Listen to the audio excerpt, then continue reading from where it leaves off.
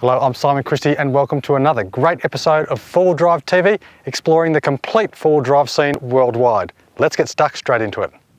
Tread lightly, keep it safe, play hard.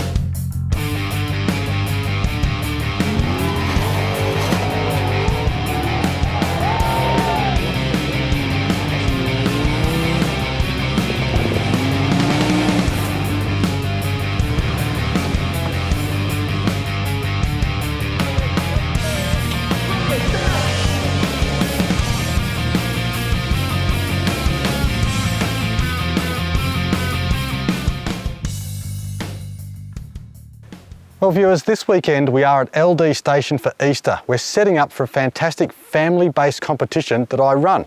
We've got the Holden Colorado Crew Cab brand new, set up with some fantastic accessories, and we've got the all-terrain course which will be run on the Sunday around lunchtime of the family Easter event.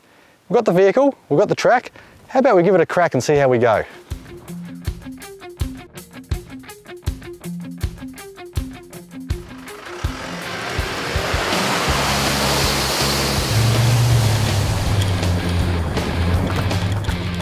Nicely through the sand there, plenty of torque, a bit bouncy, watch these rocks. We've got plenty of bash plates underneath though. Pulls nicely up the hill there, pick our way through these rocks.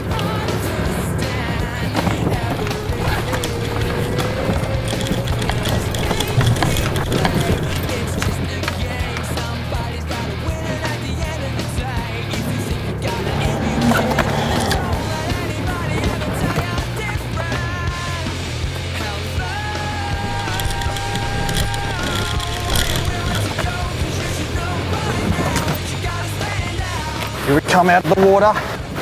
Some nice tight sections there.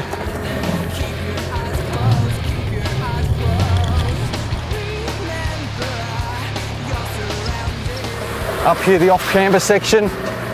Keep it high, accelerate down through it, through the water.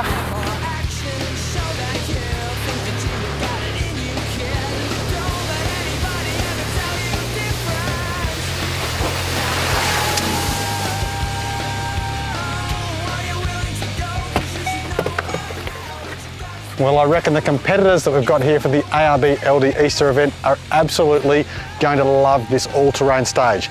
We've got it saved up as the last stage for them. You'll see it on an upcoming episode of 4 Drive TV and your 4x4. Stay tuned for that one. Awesome. And by the way,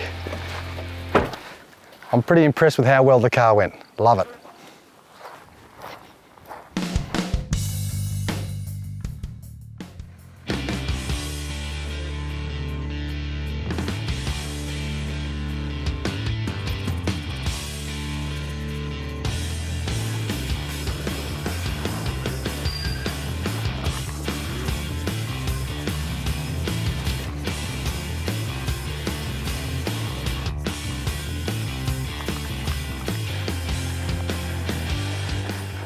My name's Steve Carell. My wife and I are the owners and operators of the City View 4 Drive Park. We've just finished running the first ever Rumble on the Rocks competition. Rumble on the Rocks is an event built for buggies and truggy style vehicles. It's run on some of the best rocky terrain in the area that you can get hold of. This weekend we've had some really great competitors come and put in a big effort in some really poor conditions due to the current weather system and it's turned out to be a really, really good event. We had a broad range of competitors right through from people that have done tough truck to some beginner people that haven't done much in the way of competition at all before. We've had single-seater buggies, a couple of Suzuki's, a bit of a 40 series hybrid type of vehicle, and they've really put on different sorts of performances in different terrain. It's been really good to see. Even with the really bad conditions, we had some really good people that have come out and put in a big effort just to get around to see some of these stages, and they are really happy that they did because they were quite amazed some people were commenting on that they had no idea that anybody would be able to put a vehicle through this sort of event. Saturday morning we started the event, we ran a qualifying stage. It was slightly different to the other stages in the fact that it was more of a sprint stage designed to get a starting order so we could get the faster trucks at the front of the field. On the qualifying stage, they basically come out of the start gate and they drop straight off the edge of a large rock descended down a hill with off-camber rock edges down to a muddy creek in the bottom and then back up some rock climbs and a hill climb. And they did three laps of this to sort of spread it out so we could get a good range of what the vehicles could do before we put them into the really serious stuff. The guys put on a really good show. We had quite a few spectators at the qualifying and they certainly weren't disappointed with what they saw.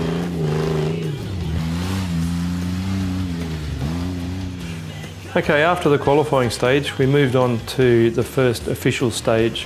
This stage was up a quite a steep rocky gully with lots of large rocks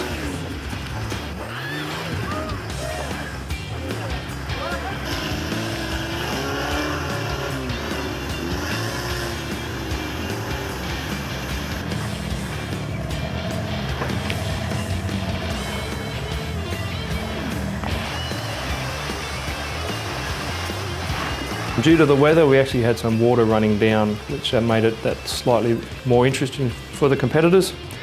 We staged it with the start being five minutes apart so that the competitors had a chance to catch up with each other, overtake each other, and that made it quite interesting through that stage.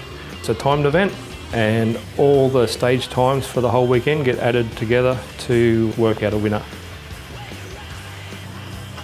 At one stage we had two competitors on exactly the same ledge, both winching side by side. This is the sort of thing they ask for in an event like this.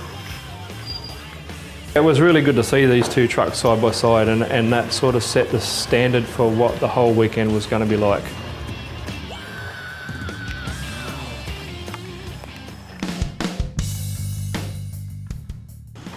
Hi, I'm Greg from Superior Engineering. Today I'd like to talk to you about the benefits of upgrading to heavy duty steering rods on your vehicle. In a live axle vehicle such as patrol and land cruisers, there are two steering rods. One connects the two steering knuckles, generally referred to as the tie rod, and the other rod between the steering box and the diff is the drag link. From factory these are often mild steel bar or tube, easily bent when hit by rocks or obstacles while driving off-road. There are many aftermarket options available ranging from heavy wall mild steel to solid 4140 bar. With 4140 now being the accepted heavy duty standard upgrade, Superior Engineering has gone one step better by introducing an Australian made 4340M steering rod. These tie rod and drag links are tested to approximately 10% stronger than any other steering rod available this huge increase in material strength has allowed us to keep the rod diameter at 35mm, which avoids any suspension component interference issues or binding. These 4340M rods are supplied standard with the largest female threaded rod ends available. The main reason for upgrading steering components is that if a steering rod is damaged, it could render the vehicle undrivable or unsafe. So it's highly recommended to upgrade to the strongest options available. I'm Greg from Superior Engineering. Thanks for listening.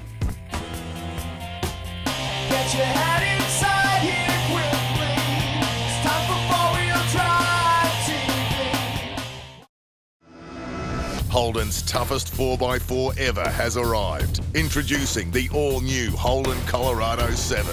It comes with seven seats as standard and it's loaded with serious off-road grunt. You'll get 3-ton towing and the awesome 470 newton meter Duramax diesel engine, plus an impressive wading depth and hill descent control, all for the hardcore adventurer. The all-new Holden Colorado 7 is here. Take it off-road at your Holden dealer today. Now, who doesn't want more power? And I bet that most of you with diesels have your hands in the air. DP Chip is not a snack food, it's the real deal, and simply modifies the engine fuel injection parameters to increase performance to a measurable difference of up to 35% more power and torque and up to 10% better economy. DP Chip, the only diesel power chip with a 5 year warranty, 24 7 tech support, and user adjustability. For more information on DP Chip Diesel Power, call 02 4877 1022 or visit dpchip.com.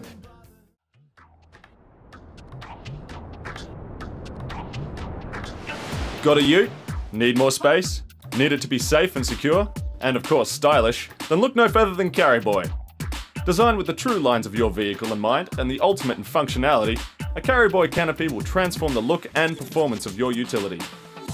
For more information on why Carryboy are the world leaders in canopy design, durability and practicality, visit carryboy.com.au.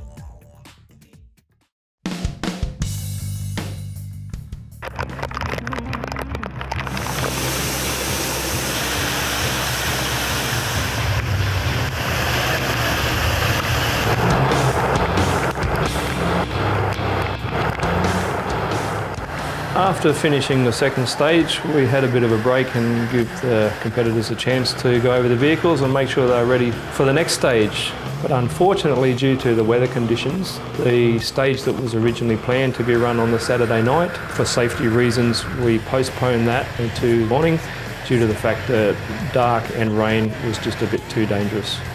It was a very interesting stage and it was something new that not many of these boys had even laid eyes on this track before, let alone driven it. Started with a bit of a sprint down some rocky ledges and then to some really big drop-offs where they really got their eyes open and then down to a rocky gully with a sprint through the rocks to the finish. Most of the vehicles got through this without any dramas, a bit harness tightening at a couple of stages and kept them on their toes, but it was a really good stage and everybody thoroughly enjoyed it. This stage was a particularly good one for the spectators um, seeing vehicles do things that were virtually thought to be impossible the day before, having them drop off the edges of some waterfalls, a bit of water running down the track, made it a really good spectacle to see how easy these boys made this driving look. Major modifications to the last stage for the weekend due to the amount of water that sort of would normally be a trickle to being about five foot deep coming down the course that we'd originally planned. It was supposed to be somewhere in the order of about a kilometre long. We shortened it to about 200 metres, again as of the night stage for safety reasons. But the competitors took everything in their stride, adapted to it, and they put in a massive effort to get through it. And they really put on a good show again for everybody watching. This was our first Rumble on the Rocks that we've held at City View 4 Drive Park. After the success, even with the contention with the weather, everybody thoroughly enjoyed it and we now plan to hold more of these style of events throughout the year. We also hold a regular monthly event called the City View Terrain Trials, which is another popular spectator event where people can sit in relative comfort without having to travel around the place to watch the vehicles perform in front of them. We also hold night runs for people to just come along and tag along and other stuff planned throughout the year. Part of the success that we've had with Rumble of the Rocks this weekend is due to the huge amount of different varying terrain that City View 4 Drive Park has to offer. Ranging from medium to extreme, extreme tracks, we can cater for most people and it makes it very good that the spectators can get around to a lot of the extreme parts to watch the hardcore boys while the novices can come out and learn how to drive.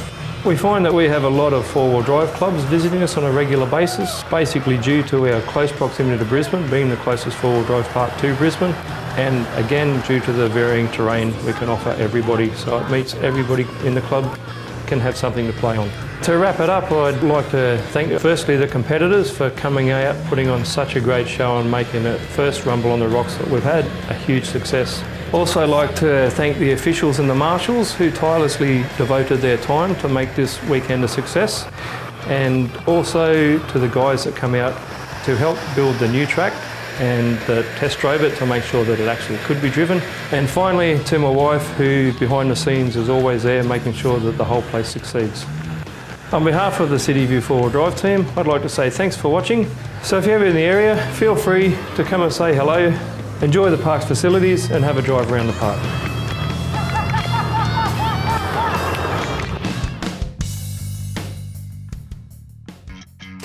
He's nearing 80. They've just entered their teens. He's worked the last 65 years as a mechanical engineer. They play video games. Kids in my day never got away with things like that. Brought up in two completely different worlds. And hairdo looks like a mop. There is one interest they have in common four wheel drives.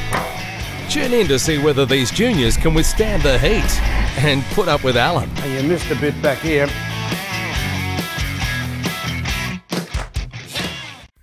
So one of the other jobs that we do at uh, Terrain Tamer is to have a look at some parts that do fail and see if we can have them modified. And we modify them in-house. Here's a case in point where we've got a main shaft out of a gearbox. And tell me what's wrong with that. Oh, shit off there. Yeah, all the splines are rounded off where that slides into there. Only a very short engagement, isn't it? Yeah. So what we've done is redesign that so as we got this all in one part. Massive compared to that. Okay, and a, and a spline engagement which is twice as long as the original. Pretty smart? Yeah. You reckon that should last for a long while? Yeah, yeah it should last forever. Okay, that's the that's the main shaft. And there's a little, there's a couple of other things here. And in, in one of the um, input gears for the transfer case, We've got a spline which is probably only 25, 30 mil long, and that engages with the, it, it shears off in there. So The original setup was that and a spacer. What we've done is actually made the whole thing more solid and in one part. So that lies the whole spline. Reckon that should last a lot longer? Okay.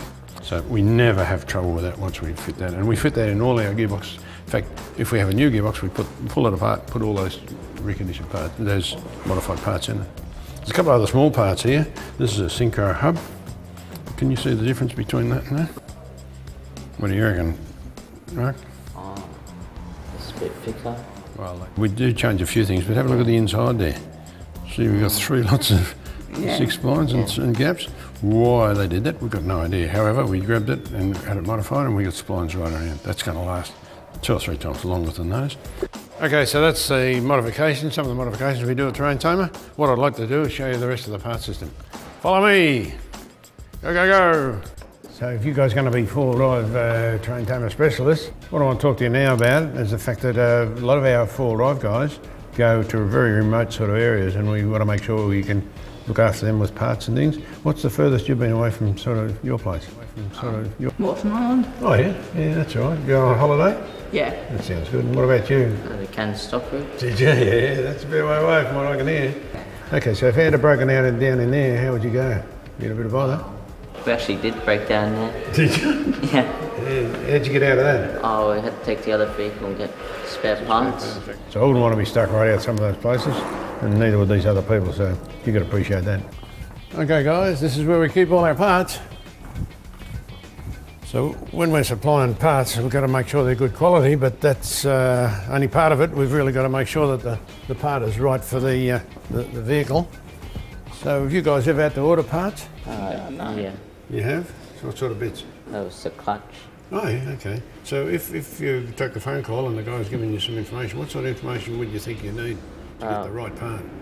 They have to give like the make of full drive, Yeah, okay. What else? The model the, and the year. Yeah, okay. Uh, Anything else? the VIN number. Yeah, VIN number would be pretty handy. Vehicle identification number, that'd be pretty good. Anything else? Um, just make sure you don't do the colour. No, not the colour. Okay, yeah, that's fair enough. Well, well, that information should help us get not only a good quality part, but the right part. And that's pretty important when you're stuck up canning track or wherever, wherever you were. And uh, yeah, okay. All right, that's good. Let's go. Now it's time for the boys to put this into practice. This vehicle needs, a, needs an air filter element.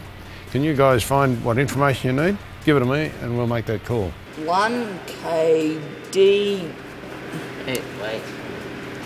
dash FTV That's the engine number.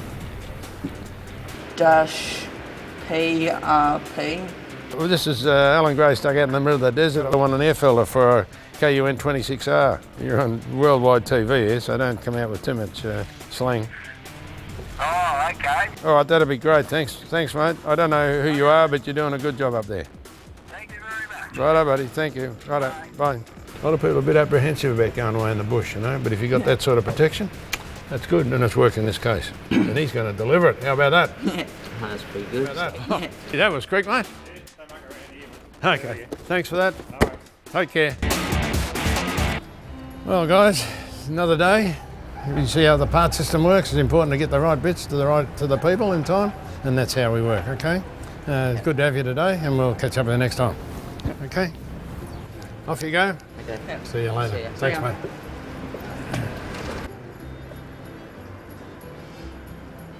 Yeah, they're growing on me. It's a pity though sometimes. Want to get the right bits.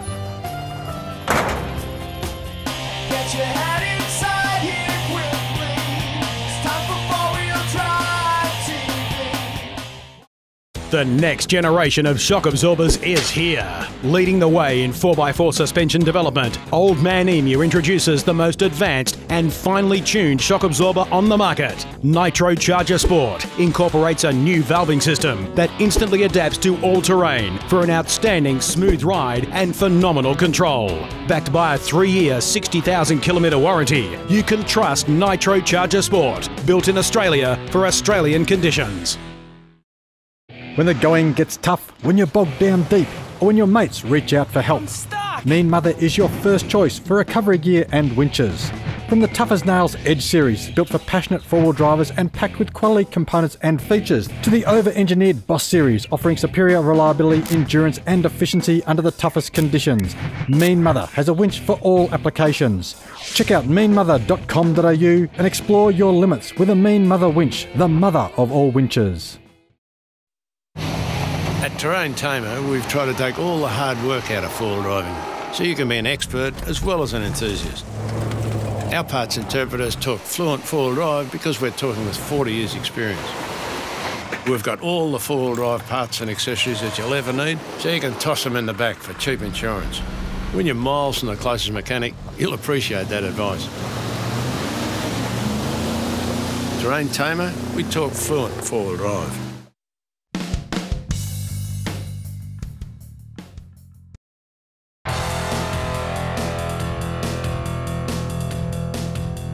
G'day guys, uh, my name's Anthony and uh, this is my rig. It's a 2010 Hilux, bought it pretty stock. Done a bull bar, IPF lights, winch, ARB bash plate underneath, 2 inch lift, Mickey Thompson MTZ tyres and a snorkel. That's pretty much it for now. The future mods is the UHF on it and a light bar. Yeah, just light bar up the top and that's about it. Currently we take it out a fair bit to Wombat State Forest and Lerderderg State Forest taken a few times camping up to Cobrawonga and that's all we've taken it so far but hopefully like to do a few more trips maybe Mount Disappointment try to get a few tracks down here done. If you'd like to join us for our next Your Rig trip, then email myself with your details. Each weekly winner takes home a cap and stubby holder courtesy of Allsat phones, a pair of scissors thanks to Kiesler knives, a promo pack courtesy of ARB including Forby the plush toy, a travel mug, the latest ARB cap, the latest ARB jacket, and a set of valve caps to bling your rig.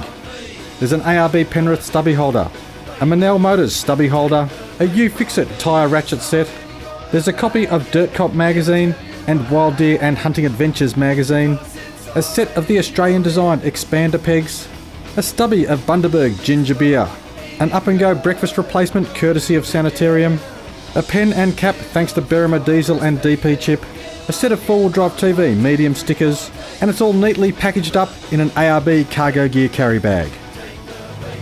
I'd say thanks for watching my rig. Thanks to Four Wheel Drive TV and all their sponsors. And this is my rig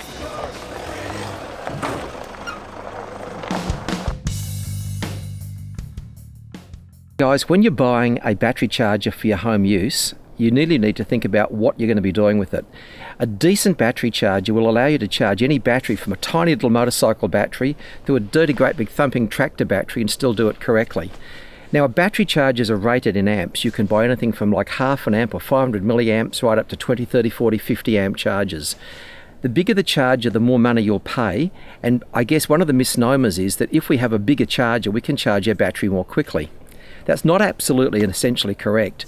The first thing you need to know is the battery is in many cases the limiting device. How much energy it can absorb over a period of an hour is determined by the design of the battery. Let's be specific.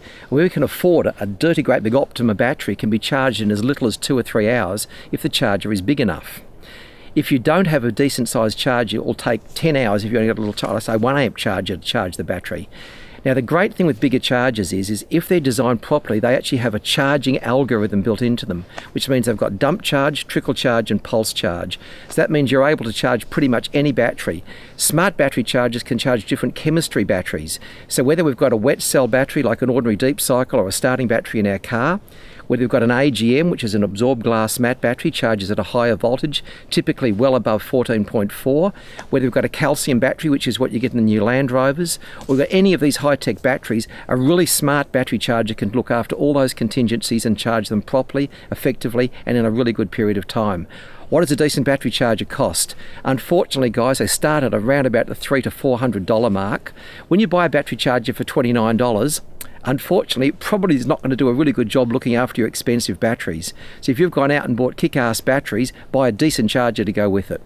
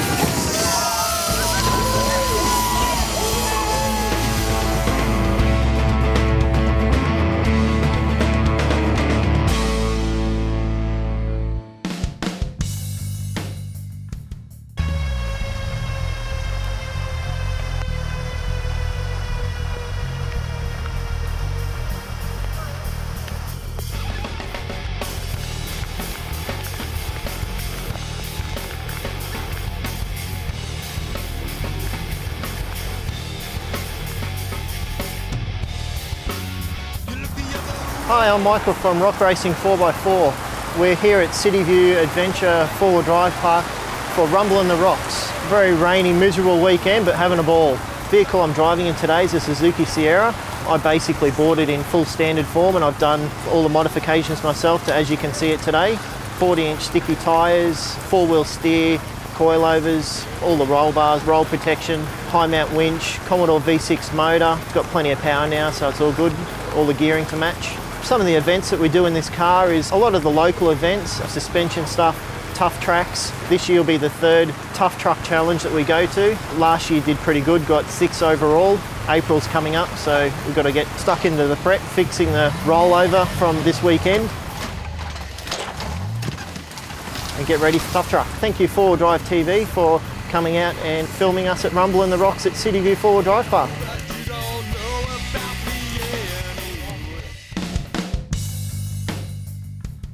Well viewers, thank you for tuning in. Now just a quick one, if you need any information, jump onto the website. There's stacks of prizes, downloads and more. I'm Simon Christie. Tread lightly, keep it safe, play hard. I look forward to your company next week.